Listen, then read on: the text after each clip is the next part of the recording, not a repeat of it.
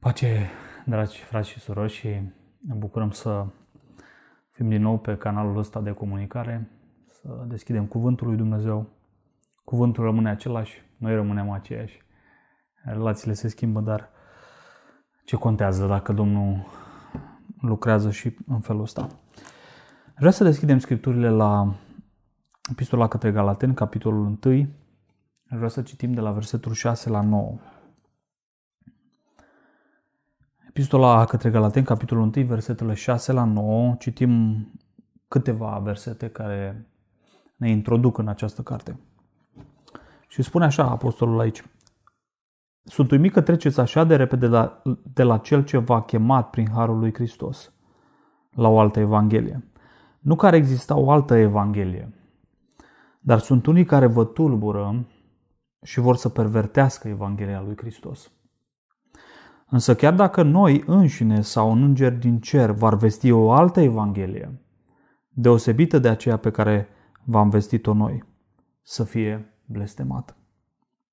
Așa cum am v-am spus înainte, vă spun din nou, dacă cineva vă vestește o altă Evanghelie decât aceea pe care ați primit-o, să fie blestemat.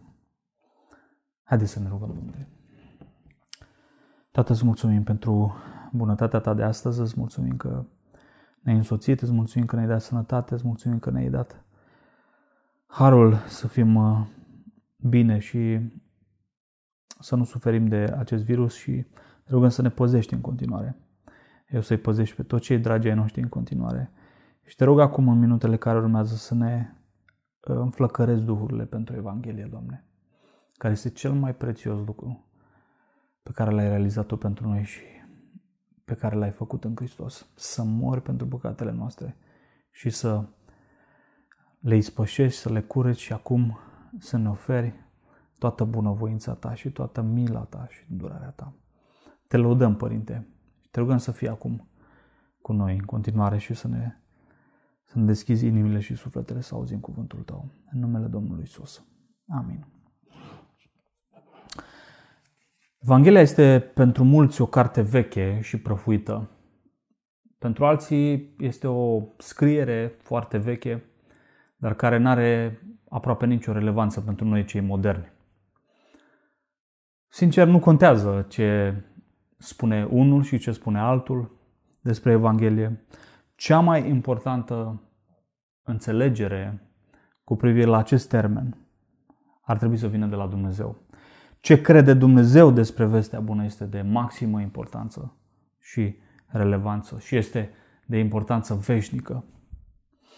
De aceea, în următoarele luni vrem să ne avântăm în studierea uneia din epistolele cele mai importante din cele mai preocupate de Evanghelie din Noul Testament și anume epistola către Galateni. În ea descoperim inima lui Dumnezeu față de ceea ce a făcut Hristos. Și Uh, inima lui Dumnezeu care îi se comunică apostolului său Pavel cu privire la Evanghelia, Evanghelia care este acum sub o mare amenințare de uh, evanghelii false. Și tocmai această ciocnire ne ajută pe noi astăzi să vedem cât este gelos, de gelos Dumnezeu față de uh, exclusivitatea, supremația și valoarea morții și învierii lui Hristos. Asta comunică Evanghelia și asta, asta îl face pe Dumnezeu gelos. Să-L vadă pe Hristos exclusiv, suprem și măreț în toată splendoarea sa. Și aș vrea în această predică introductivă să privim la câteva aspecte care ține contextul epistolei, care sunt importante și care ne vor ajuta să avem o imagine de ansamblu mai bună asupra acestei epistole și asupra relevanței pe care ea o are pentru noi astăzi. Aș vrea să privim un, un pic înainte de toate la contextul destinatare și, destinatare și motivul scrierii și apoi și la uh, cum este Pavel în această epistolă. Uh, o să prezint în cele ce urmează varianta pe care o consider cea mai potrivită uh, din punct de vedere al argumentelor Um, varianta cea mai potrivită care să se potrivească cu uh, toate argumentele din epistola aceasta. Ne aflăm undeva în anul 48, 48 după Hristos, după ce Pavel finalizează prima sa călătorie misionară.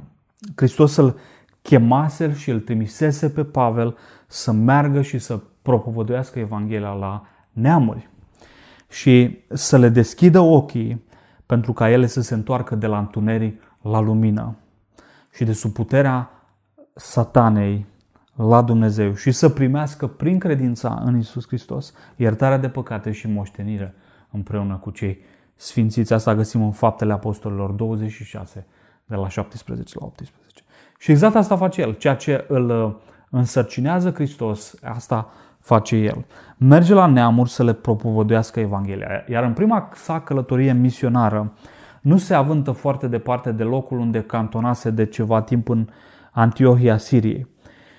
Astfel, el merge prin Cipru și toate relatările astea le găsim în Faptele Apostolilor, capitolul 13, de la 13 la, până la capitolul 14 cu versetul 20. El merge din Antiohia Siriei în Cipru, care era o insulă, care este o insulă în Marea Mediterană, și din Cipru urcă către, uh, către continent. Și intră în regiunea Pamfiliei și din regiunea Pamfiliei urcă și ia cu asalt ceea ce numim, ceea ce istoricii numesc și uh, cu suficiente argumente, uh, zona regiunii Galatiei, zona provinciei romane Galatia. Și în această zonă, el evangelizează orașele Antiohia, Pisidiei, Iconia, Listra și Derbe. Cum am spus, găsim în fapte 13 și 14 toate aceste, toată această descriere. Și trebuie remarcat că în uh, toate aceste orașe el înfruntă o mare persecuție din partea uh, uh, greci, din partea iudeilor autohtoni.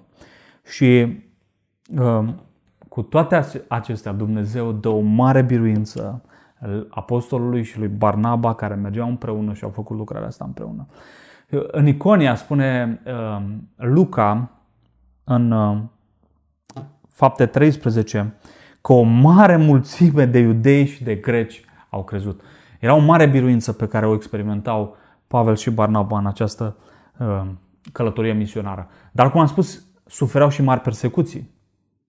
Și vom vedea pe parcursul epistolei că ideea asta a persecuțiilor se, se, se observă și acești uh, predicatori care veniseră în urma lui Pavel, anume iudaidatorii aceștia, de care vom vorbi un pic mai încolo, ei uh, propovădeau această doctrină a tăierii împrejur, tocmai pentru ca să nu fie, să nu fie ei persecutați de alții.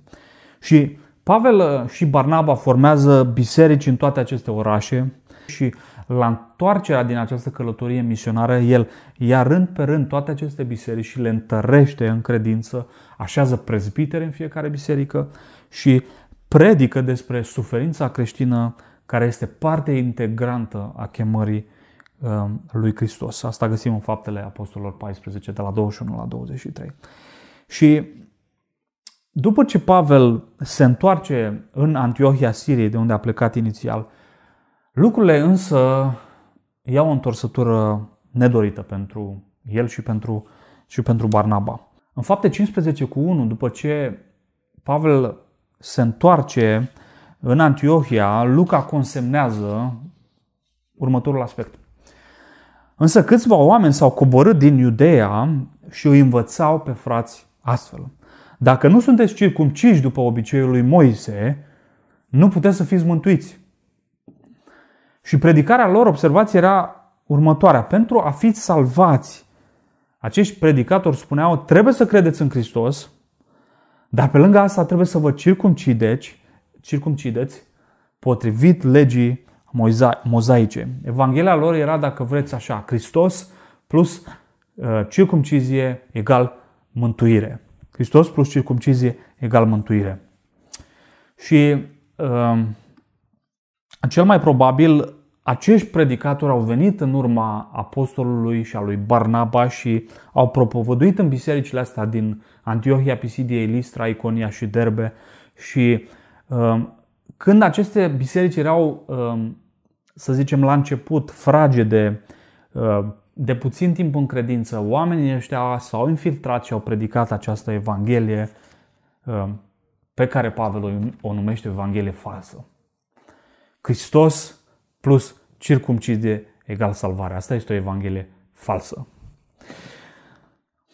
Pentru că în uh, Galaten 6 cu 12 vedem ideea aceasta că acești oameni propovăduiau circumcizia, spune aici textul, toți cei ce doresc să dea o impresie bună în trup, vă obligă să fiți circumciși. Observați, ei obligau pe frați să se circumcidă ca să primească salvarea. Și acest aspect îl face pe Pavel să scrie această epistolă care se adresează, apropo, bisericilor din Galatia, spune în, chiar în versetul 1, um, că în versetul 2 um, se adresează mai multor biserici dintr-o regiune a Imperiului Roman, așa cum am spus, cea regiune pe care Pavel a vizitat-o în prima sa călătorie misionară. Și uh, poate că auzi, ai auzit despre acest lucru și te întreb, dar de ce era nevoie ca Pavel să scrie o epistolă care să corecteze această chestiune? Ce era, care era problema? E bine, dăm voie să spun înainte de a, de a intra efectiv în problemele doctrinare ale epistolei că tonul cu care Pavel scrie această epistolă este probabil cel mai înflăcărat pe care el îl are în toate epistolele sale. Tonul său este unul extrem. Pavel este furios, frații mei. Pavel este furios și este, dacă vreți, gata să taie și să spânzure. Uitați-vă numai în versetul 9 ce spune el. Așa cum v-am spus înainte, vă spun și acum. Dacă cineva vă vestește o altă evanghelie decât aceea pe care ați primit-o, să fie blestemat. El rostește blestemul față de acești, așa zis, predicatori a Evangheliei. Și expresia asta, blestem, înseamnă efectiv distrugere finală. Pavel rostește cu autoritatea lui Dumnezeu blestemul față de acești oameni care predicau alte evanghelie. Cu alte cuvinte, el spune, fiți blestemați de Dumnezeu, să ajungeți în iad, să ajungeți în distrugerea veșnică. Ce? Parcă doar în Vechiul Testament mai existau oameni al lui Dumnezeu care adresau imprecații și blesteme asupra altor oameni. Bine, se pare că nu. Se pare că nu. Apostolul este realmente în flăcări, este, este înflăcărat pentru niște realități pe care le vom vedea. Și în capitolul 3 cu 1, el vorbește dur nu numai despre acești, așa, așa zis, predicatori ai Evangheliei, ci vorbește dur și cu privire la Galaten, pe care îi numește fraților, uitați-vă în Galaten 3 cu 1, îi numește proști și fără minte. Deoarece cad prada așa ziselor um, învățături biblice al acestor iudaizatori. Cad pradă farmecelor acestor, acestor predicatori. Iar în 5 cu 12 îi cheamă pe acei predicatori care vesteau această falsă evanghelie să se circumcidă pe ei înșiși, nu pe alții. Și să se, circumcizie, să se circumcidă până la tăiere completă, până la castrare. Nu e un limbaj, nu e un limbaj drăguț, nu e un limbaj uh, politicos, nu e un limbaj uh, elegant, dar e un limbaj care comunică ceva. Comunică că la mijloc Evanghelia este pusă în pericol. Și când Evanghelia este pusă sub pericol, Pavel acționează într-un mod absolut, absolut devastator. Pavel este ca un furnal încins. Și vă spun, mai încins decât atunci când s-a încins, când a văzut idolii Atenei pe toate străzile care existau în Atena. Vă amintiți în fapte 17. Frații mei, câtă nevoie avem și noi astăzi de acest duh înfocat pentru realitățile Evangheliei? Uh, ok, poate nu să vorbim în felul acesta cum a vorbit Pavel, dar avem nevoie de acest duh înfocat, de acest duh plin de pasiune pentru Evanghelie și din nefericire mulți uh, credincioși trăiesc așa o atmosferă de într-o atmosferă de sentimentalism și romantism spiritual care este cumva lipsit de substanță și de măduvă, dacă pot să spun așa, de greutate spirituală. Ei vorbesc foarte mult despre Dumnezeu, dar când vorbesc despre Dumnezeu, oamenii aceștia nu, nu se sizez la ei o greutate spirituală în, în vorbirea lor. E, e, e un sentimentalism, multe flori fluturași și inimioare, dar nimic care să te facă să stai neînfricat în fața coronavirusului. Nimic care să te facă să stai neînfricat în fața cancerului. Nimic care să te facă să, să o rupi cu păcatul și să trăiești pentru Hristos cu dedicare în, de, în trup și în suflet. Pentru alții dintre noi, aceste adevăruri odinioare erau fierbinți în viața noastră. Dar, din nefericire, am trecut printr-o fază de răcire și acum ceea ce ardea odinioară în noi este doar o luminiță plăpândă, gata să se stingă. Hristos crucificat în toată gloria, în toată splendoarea sa, nu mai rezonează în viața noastră și în ființa noastră, așa cum ar trebui. Și nu mai suntem pătrunși până în măduva noastră de adevăr. Și rugăciunea mea este, Doamne, schimbă-ne, schimbă-ne prin această epistolă. Vedeți, fraților, în Galatenii înșiși ne stau ca dovadă clară că o astfel de condiție poate să ajungă să domină viața unui creștin autentic. Această stare în care nu mai înțelegi Evanghelia, ești confuz sau te-ai depărtat de Evanghelie și ea nu mai este centrul vieții tale. Dar tocmai pentru asta, frații mei, este minunat lucru că putem să studiem epistola către Galateni. Și este Um, o epistolă care comunică atât de multă viață. Mi-a plăcut ce spunea John Piper referitor la, la epistola aceasta și felul cum ea ne, ne, ne comunică viața asta. Și el spune așa, nu poți citi epistola către Galateni și când termin să zici, wow, ce reflexie, ce, ce reflexie spirituală drăguță. La fel cum nu poți lua o bucată de cărbune fierbinte și să o analizezi cu mâinile goale. N-ai cum. E bine, este ceva în această epistolă care îți comunică viață, vigoare, pasiune și acestea sunt contagioase. Și mă rog ca prin puterea Duhului care a inspirat această epistolă să fim și noi pătrunși de această putere, de această energie și de această vigoare care l-a mânat pe Pavel să fie așa de pasional. Mă rog ca credința noastră să nu fie goală pe dinăuntru, ci uh, și lipsită de putere, ci să fie plină de viață, de tărie, de forță, plină de măduvă. Domnul să ne dea har. Dar întrebarea normală este de ce era Pavel așa? De ce este Pavel plin de foc față de Evanghelie și de ce ar trebui să fim și noi înfocați față de vestea aceasta? Că Hristos a împăcat lumea cu sine. Din cel puțin două motive pe care le vom lua pe rând. Și anume că devierea de la adevărata Evanghelie înseamnă îndepărtarea de la mântuire. Devierea de la adevărata Evanghelie înseamnă îndepărtarea de la mântuire. Și al doilea lucru, devierea de la adevărata Evanghelie înseamnă profanarea gloriei lui Hristos. Devierea de la adevărata Evanghelie înseamnă profanarea gloriei lui Hristos. Primul lucru, uh, devierea de la adevărata Evanghelie înseamnă îndepărtarea de la mântuire. Ecuația mântuirii pe care o vesteau acești iudaizatori, acești predicatori care veniseră din Iudea și urcaseră în bisericile acestea și predicau, era aceasta. Hristos plus circumcizie egal salvare.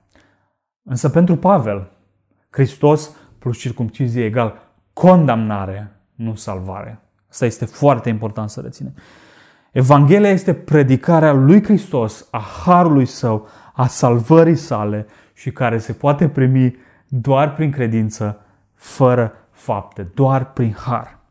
Oricine adaugă la sacrificiul lui Hristos în termenii unei baze a acceptării noastre înaintea lui Dumnezeu, nu poate să fie salvat. Și Pavel este foarte temător că galatenii au mușcat din această ispită și au trecut dincolo de acea linie roșie. Uitați-vă ce spune el în Galaten 4 cu 11. Mă tem să nu mă fi ostenit în zadar pentru voi. Vedeți, a crede că pentru a fi considerat drept înaintea judecății lui Dumnezeu sau pentru a fi considerat îndreptățit, justificat, trebuie să împlinim și un cod moral, fie că el este legea Vechiului Testament, fie că el este orice alt cod moral uh, pe care îl închipuim noi, este o respingere a Harului lui Dumnezeu. O respingere a Harului lui Dumnezeu. Iată cât de grav este. Uitați-vă, Galaten 5 cu 4. Voi care vreți să fiți îndreptățiți prin lege, v-ați despărțit de Hristos, ați căzut din har. Nu e de joacă. Nu este de joacă. Ca să fie salvat, mântuit, singurul răspuns al omului față de sacrificiul lui Hristos trebuie să fie doar credința care lucrează. Vom vedea în uh, ultimele părți din Galateni, prin dragoste, nimic altceva. Asta este singurul răspuns al omului. Nu uh, legea, nu împlinirea ei, nu alte legi pe care să le împlinim noi, ci uh, Hristos plus credință egal salvare. Ziceam că al doilea lucru pe, pentru care Pavel este plin de furie sfântă se datorează profanării gloriei lui Hristos. Hristos crucificat, plus minus, nimic altceva este conținutul Evangheliei autentice. Pe El îl propovăduim noi, spunea Pavel în, în Coloseni 1 cu 28. Noi nu propovăduim legea, noi nu propovăduim standardele umane pe care noi ar trebui să le împlinim, nu, nu propovăduim nici măcar uh, puterea voinței umane sau meritele pe care noi le putem uh, adăuga uh, sacrificiului lui Hristos. Noi îl propovăduim pe Hristos și El răstignit. Evanghelia este Evanghelia exclusivității lui Hristos. În Evanghelie Hristos strălucește, Hristos este exclusiv și restul sunt, sunt lucruri care doar arată înspre această exclusivitate a lui Hristos, luminează și fac și mai clară exclusivitatea lui Hristos. Tot meritul în salvarea noastră nu-l avem noi, ci l are Hristos. De la început până la sfârșit. Hristos. El a luat blestemul legii asupra lui pe care noi îl meritam, l-a luat el însuși în trupul lui pe lemn, Galaten 3 cu 13. Și tot el este cel care ne-a smuls din acest veac rău și ne-a strămutat în împărăția sa, Galaten 1 cu 4 și ne-a făcut ai săi. Vedeți? El a luat pedeapsa pe care noi meritam la cruce și tot el este acela care ne-a smuls, ne-a oferit harul credinței și al pocăinței și ne-a oferit mai presus de orice, darul Duhului Său, așa cum vom vedea. De asta, în Galateni 1 cu 5, el spune, Pavel, al lui să fie gloria și slava în vecii vecilor. Amin. Fiindcă așa stau lucrurile, cei care adaugă propriile eforturi pentru a sta drepți înaintea lui Dumnezeu, lasă sacrificiul lui Hristos fără absolut nicio valoare. Poate vei zice, frate, dar e, e prea radical această concluzie. Da, poate avem și noi un aport, aport acolo și o, o mică o, o mică pricină de laudă. Dar de ce acest lucru ar trebui să însemne că lăsăm sacrificiul lui Hristos fără nicio valoare? Uitați-vă ce spune în 2 cu 21. Eu nu resping harul lui Dumnezeu pentru că dacă dreptatea se primește prin lege, atunci Hristos a murit degeaba. Pavel spune, dacă eu pot prin împlinirea legii sau prin împlinirea oricărui alt standard moral să, să dobândesc o dreptate înaintea lui Dumnezeu, atunci Hristos și ce a făcut El este degeaba. Înseamnă că eu, prin puterea mea, puteam să mă îndreptățesc înaintea lui Dumnezeu. Și în sensul acesta rostez despre jertfa lui Hristos. Ea este degeaba. Ea este, nu are niciun sens. Este fără niciun rost să te ferească însă Dumnezeu să spui așa ceva cu viața ta. Să te ferească Domnul să spui încrederea vreodată pentru mântuirea ta, chiar și un strop măcar în tine, în trăirea ta, în purtarea ta, în meritele tale.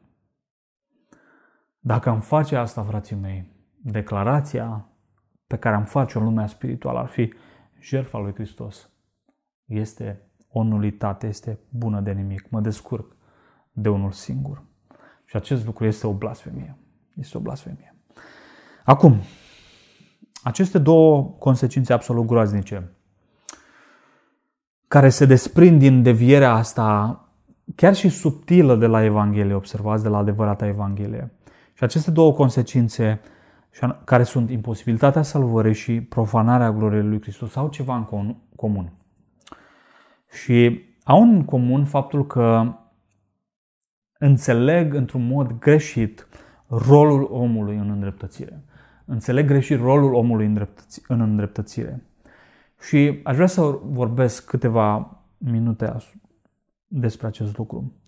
Iudaizatorii aceștia propuneau că rolul omului în primirea mântuirii procurată de Hristos este credința împreună cu împlinirea legii. Ăsta este rolul nostru.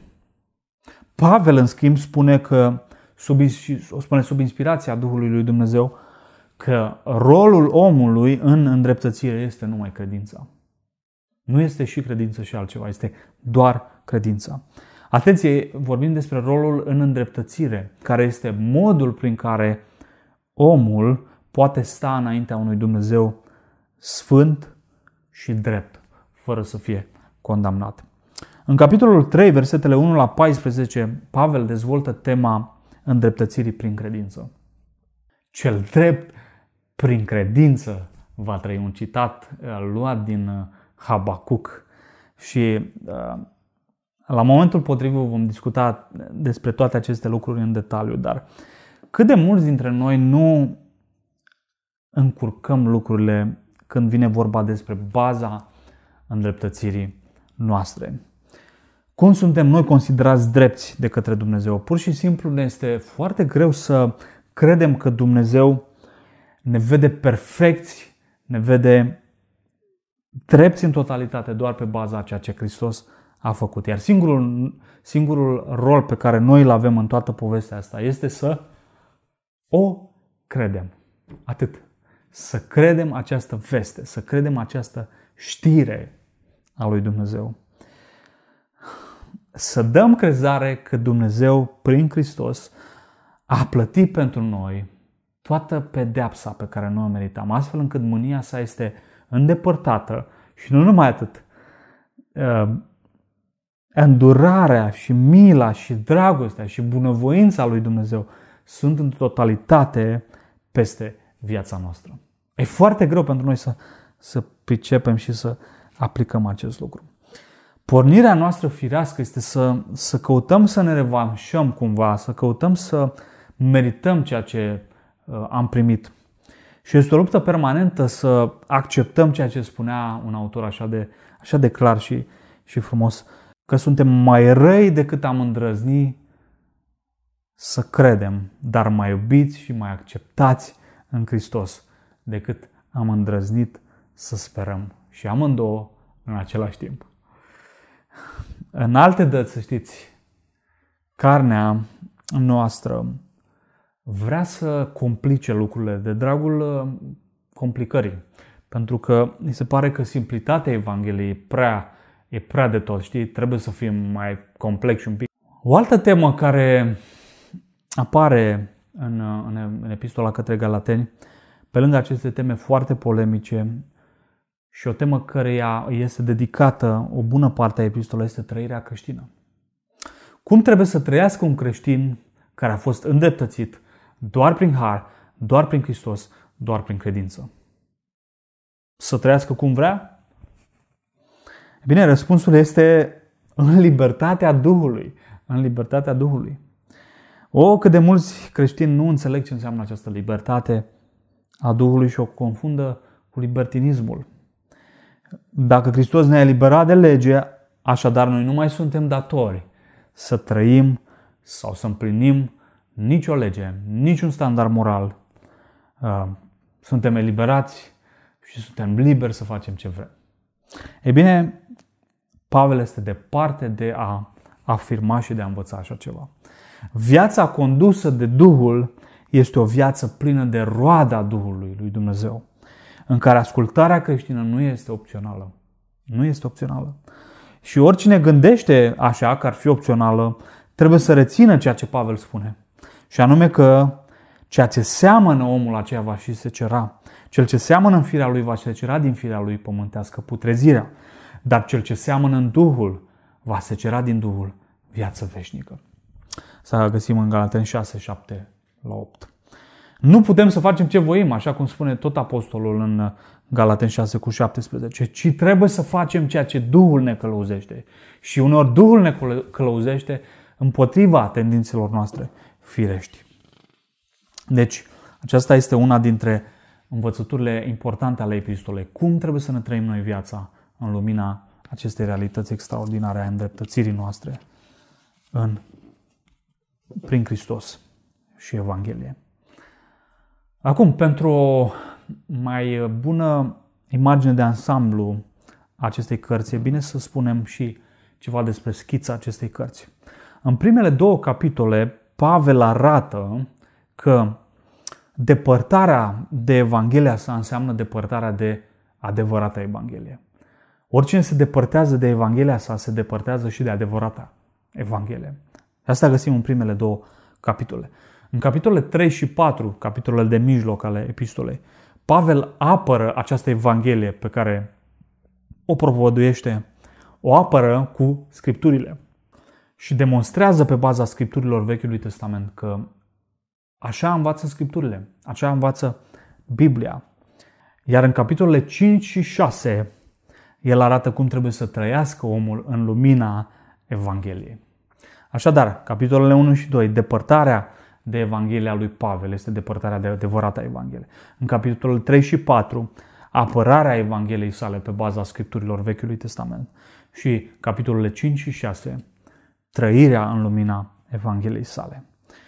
În încheiere, aș vrea doar să, să spun foarte pe scurt și întreagăt că această Evanghelie a avut un rol aparte, împreună cu Epistola către Romani, a avut un rol aparte în reformă, un rol crucial în reformă.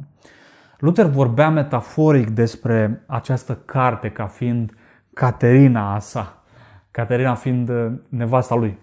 Și el, el uh, se simțea căsătorit cu această epistolă către Galateni. Și se simțea căsătorit pentru că această epistolă i-a dat pacea lui. Și a înțeles în ea Evanghelia aceasta a îndreptățirii doar prin credință și um, fobiile și temerile pe care el le avea au fost spulberate de dragostea lui Hristos, ca să arată așa de magistral în Evanghelia acestei epistole. Evanghelia Harului exclusiv al lui Dumnezeu în Hristos. I-a oferit lui bucuria negrăită a salvării. Și așa a început Revoluția. Așa a început reforma.